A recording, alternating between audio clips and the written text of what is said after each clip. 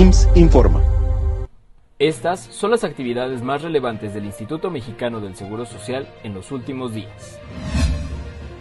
El IMSS llevó a cabo la primera sesión ordinaria 2024 del Comité para el Programa Institucional sobre los Derechos de las Personas con Discapacidad, con el objetivo de fortalecer las políticas, programas y acciones dirigidas a la población derechohabiente y usuaria de los servicios que presta el Instituto.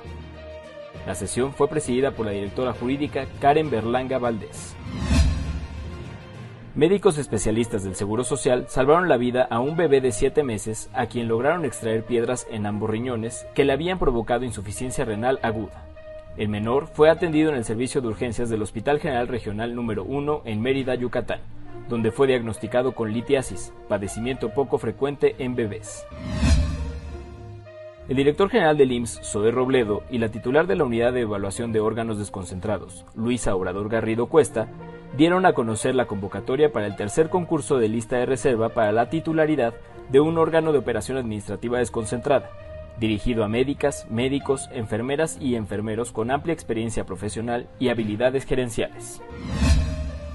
El Seguro Social anunció que los días 19 y 20 de octubre llevará a cabo la segunda Jornada Nacional de Reconstrucción Mamaria en el Hospital de Oncología del Centro Médico Nacional Siglo XXI, durante la cual se realizarán 20 cirugías, una feria de la salud, caminata de pacientes y un simposio con la participación de expertos nacionales e internacionales. El IMSS y el Sindicato Nacional de Trabajadores del Seguro Social firmaron el convenio de revisión salarial 2024 del contrato colectivo de trabajo del bienio 2023-2025, donde se acordó un incremento del 8% para todas las ramas y categorías de trabajadores incorporados al contrato. El acuerdo se dio a conocer durante la inauguración del Centro Nacional de Capacitación y Calidad y Unidad Deportiva Villa Coapa.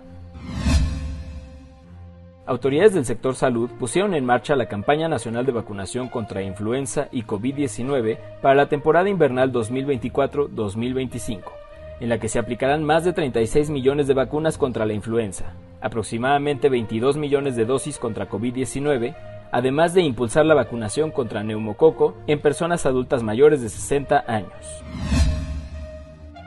Tras enfrentar el diagnóstico de cáncer de la médula ósea a los 4 años y diversas complicaciones de salud, Dani logró tocar la campana de la victoria y vencer al cáncer después de 3 años de tratamiento. Acompañado de su familia y personal médico del Hospital de Pediatría del Centro Médico Nacional Siglo XXI, Dani agitó con fuerza la campana y así celebraron el término de las quimioterapias. El IMSS realizó el primer curso de capacitación Código Vida, que tiene por objetivo conseguir un mayor número de órganos que beneficien a pacientes que requieren un trasplante.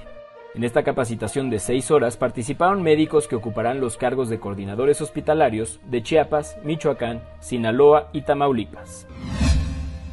El Hospital de Traumatología y Ortopedia Lomas Verdes cumple 43 años de actividades ininterrumpidas tiempo en el que se ha distinguido por su innovación en el campo de la investigación y ser pionero en la resolución de padecimientos de alta complejidad.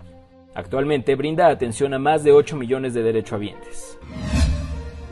El IMSS, la Conferencia Interamericana de Seguridad Social, instituciones y organismos internacionales llevarán a cabo el segundo Congreso Internacional de Investigación y Cambio Climático en Salud del 21 al 23 de octubre que tiene entre sus objetivos mejorar los conocimientos para abordar los desafíos en relación al cambio climático, salud, justicia climática, derechos humanos y a un medio ambiente limpio, saludable y sostenible.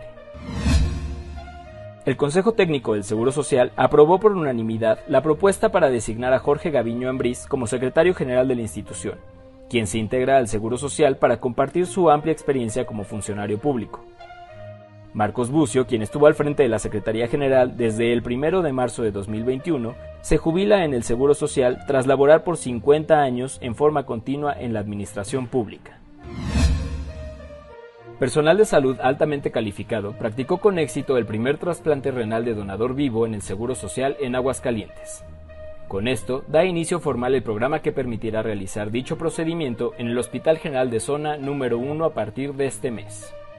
La beneficiada fue una paciente de 15 años con insuficiencia renal crónica. El director general del IMSS, Zoe Robledo, acompañado de autoridades institucionales, realizó una visita para evaluar el avance de las obras del Hospital General de Zona 14 de septiembre en Tuxtla Gutiérrez, Chiapas. el cual contará con 144 camas, 43 especialidades y numerosos servicios que permitirá disminuir tiempos de espera y evitar traslados. Gobierno de México.